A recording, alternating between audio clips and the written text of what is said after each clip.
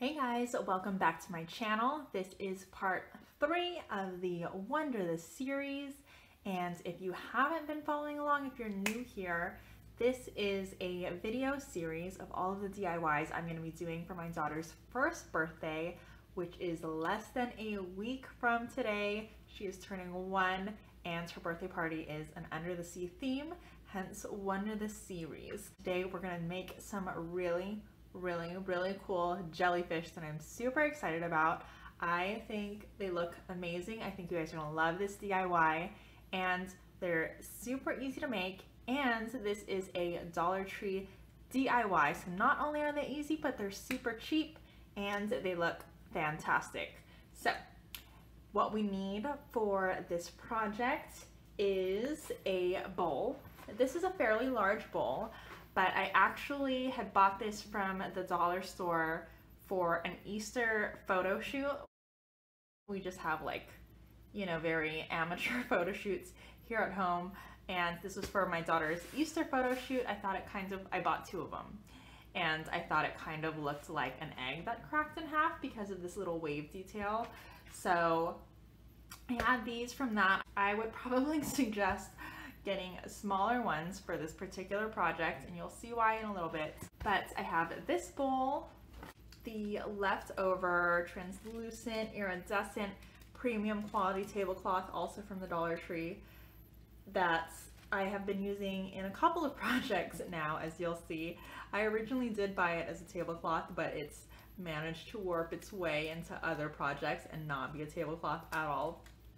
So we're going to be using some of this scissors, a whole bunch of tape, some string to hang up some string to hang up our jellyfish, and the secret weapon to making these jellyfish look so good, loofahs. These are these this really pretty pastel pink, which is perfect because it's in the color palette that I wanted for her birthday. And there's colorful little cut up sponges inside. How stinking cute is that? Let's get started. The first thing we're gonna do is take our string. I would suggest using like fishing line instead if you have that because it's more secure. Um, but since I don't, I'm just using some thin string, you know, some sewing string and I'm doubling it up. Once I fold it in half, I'm just gonna do a little knot so it's a loop and then I can hang it. Once we do that, we're gonna wanna tape this onto the bottom of the bowl. So I'm actually just gonna use a piece of scotch tape first, make sure I'm taping it right in the middle. Like so, and then I'm gonna go ahead and add some heavy duty masking tape. I wanna make sure it's secure and that it doesn't just peel off the tape right away.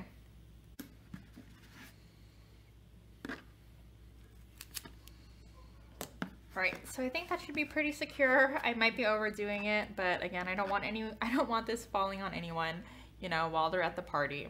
And then what we're gonna do, just because it'll be easier for us, um, and you'll see in a little bit, I'm just gonna tie this into a knot so it comes together at a single point. All right, now that I've got my little knot, we are going to take our tablecloth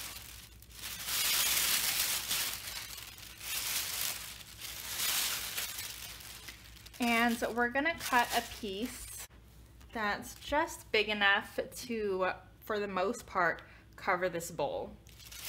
This part is definitely optional, but I think it just makes such a huge difference in the overall look of the jellyfish.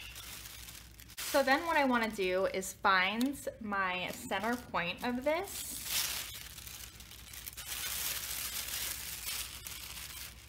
And then I'm going to make a little snip and this is where the string is going to be able to come out from.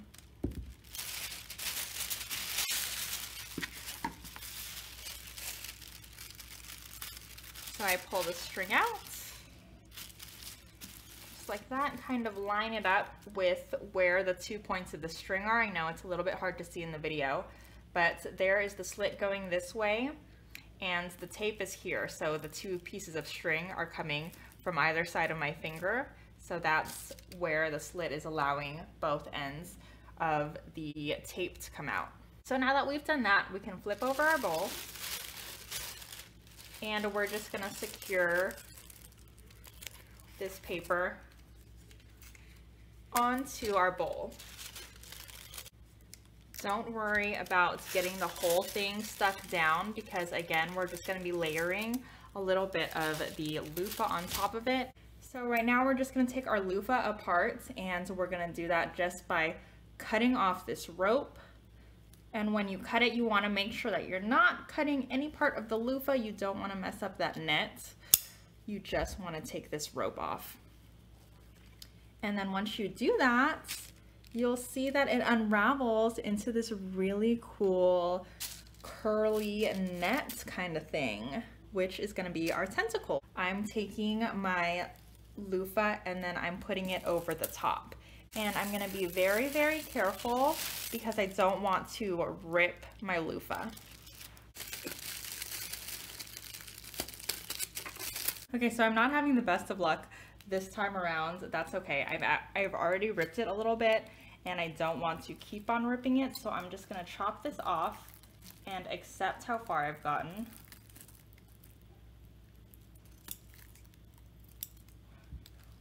And then I'm just gonna secure down the places where it was a little bit ripped so it doesn't continue to rip. All right, so I think we'll be okay. This is what the underside is looking like right now. And then this is the top side. And now we wanna also make sure that we can pull out our string still.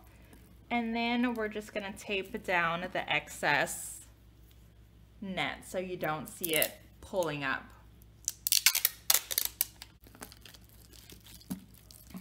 All right, I know that this whole process was hard to see because of just the material that we're using. Even, even a close-up makes it hard to see. It's just the iridescency, I mean, it's what we're working with. But again, this whole layer of the iridescent film and the layer of the net is completely optional. I just really like the look of it. I think it makes the jellyfish look very cohesive. But so this is the head of our jellyfish and now we just need to work on the legs. So we still have this left over. We're just gonna put this aside for now. And then we are gonna unravel our second loofah also.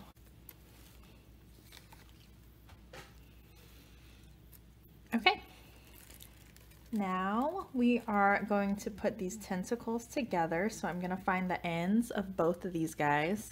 So we take these two together We'll take these two together. And then I actually like to have them facing each other, having have the ends facing each other. And then once I do that, I'm just gonna take a twist tie, but you can use tape if you want. I happen to have this twist tie handy. So I'm just gonna twist the ends together making sure it's nice and tight so it doesn't fall apart. And then I'll just wrap these ends just to get it out of the way. So now we have tentacles coming out of both sides. And obviously we cut off some of one of the one of the tentacles because we used it to cover this bowl. So I'm just gonna find the middle of this whole thing. So I'm making sure they are the same length and this is about the point where they're the same length. And I'm just gonna tape this down to the very middle of our bowl using the heavy duty tape again.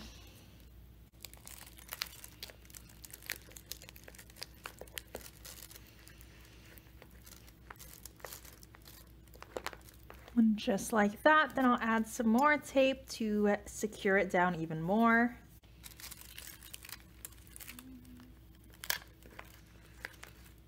Now, because these are going to be hanging pretty high, people are going to be able to look up and see inside the bowl. So I kind of want to disguise that a little bit. So I'm going to disguise that by adding a little bit more of the iridescent film just inside of the bowl. Take a little bit more tape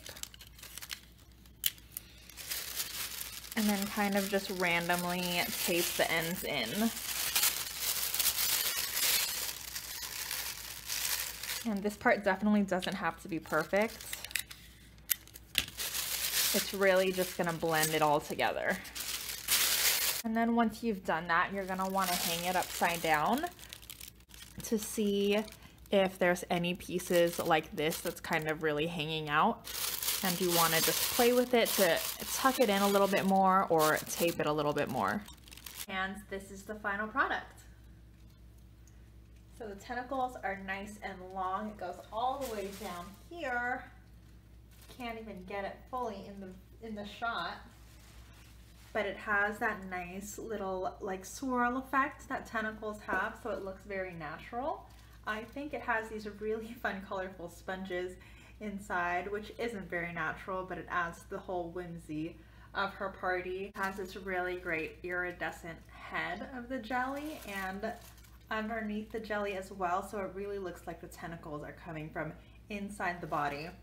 All right, so that is another DIY to check off my to-do list for this week. Again, we have less than a week. It is crunch time, you guys but we are one step closer to nearing that finish line and having this birthday party all ready for my daughter. I hope you guys love this DIY as much as I do. Leave a comment below, let me know what you think. Give this video a huge thumbs up. If you haven't subscribed already, hit that subscribe button and that notification button. I promise you there are so many more DIYs regarding this whole theme coming your way and you're gonna wanna see how it all plays out in the end. I'm gonna do a fun little video the day of just to show you, you know, how everything works together and of course show you the birthday girl herself. So make sure you subscribe, but other than that, thank you guys so, so much for watching. I love you and I'll see you in the next video.